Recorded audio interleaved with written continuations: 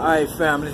This your girl, Mary Lee. This is how I ended up in the Chicago Sun-Times newspaper when I was six years old back in 1973. Because my so-called oldest sister, Linda, and I did a little video yesterday when I found her uh, name in concrete, right? Now, I told you they copy everything that I do. So some told me to get this damn paper. That used to be a quarter, now it's a fucking dollar. And you ain't got much much to it. Now it says Wednesday, December 26, 2018, 41 degrees. That's when I got railroaded in 2008 at the age of 41. Keep that in mind. Second immigrant child from Guatemala dies in U.S. custody. Then it says, pro character school Walmart heirs jump into local mayoral automatic contest. And then this is supposed to be by Lynn Sweet, page 6 7. Now, I was born in 1967. And then it got Bears O needs strong game before playoff. Okay? See, it's all about the game and nothing else. You come out here, you better watch yourself. Because you can wear what you want, even blue or red. But cross the wrong sisters and end up dead. Because they got game bangers that are sisters. You understand what I'm saying? And I believe Linda Nelson, my so-called light bright, damn near white, you know, sister, oldest sister at that, supposedly, was a game banger. And maybe even Oprah Winfrey. You see the O?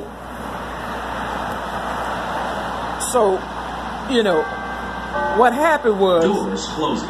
in 1984, I sent Oprah Winfrey my child abuse story. Welcome aboard Red Line. You understand what I'm saying? 12. And Cermak Chinatown is next. In the direction of travel, doors after sending her my story Cermak from my so-called sister house, Linda Standing Nelson, Please do not lean against you know, doors. she sent me a little copy of her, um, you know, considerate heading. talking on your phone or listening to electronic And, uh, so as not to disturb other customers. you know, her signature saying she'd get back to me. But that was in 1984. And then 1985, The Color Purple came out, right? You understand what I'm saying? See, I called my sister, Linda Nelson, and Oprah Winfrey she-devils. Because they are. They she-devils. That was 1984 I sent that goddamn story. Nigga, it's 2018 now, depending on what lie they telling. It could be 2017. Either fucking way, nigga. It's been a long damn time. And I ain't seen my motherfucking goddamn Oprah Winfrey yet.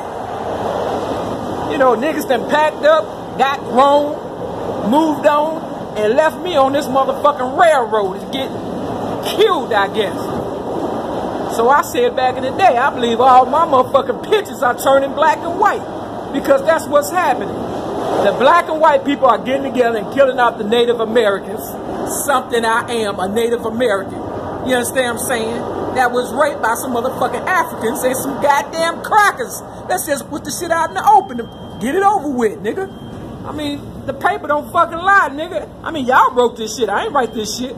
So this is the reason why they put me you know, in the Sun-Times newspaper in 1973. Because I stood up and I told my so-called caseworker that I was being abused. And they put it in the goddamn paper so motherfuckers could keep an eye on me. Because they knew one day I was be, gonna be special, nigga. You understand what I'm saying? For real. So stop trying to kill me. Because if you kill me, you kill yourself, nigga. Because once you rape me, I became one of you motherfuckers. It's called scientific evidence, you dumbass motherfuckers. For real, you do the math, motherfucker. Shit, DNA don't lie, motherfucker. I'm a little bit of this and a little bit of that, and the rest came from rapists like you. I mean, let's just tell the truth, motherfucker. For real. I ain't saying all this shit to be saying it. Real motherfucking talk. So Oprah Winfrey and my sister, you know, kick rocks, motherfucker, for real. Stop drinking and shit, and you you too could be, you know, somebody. Motherfucker. Y'all better be glad I showed up for this dumbass shit, for real. If it weren't for me, you motherfuckers would be dead.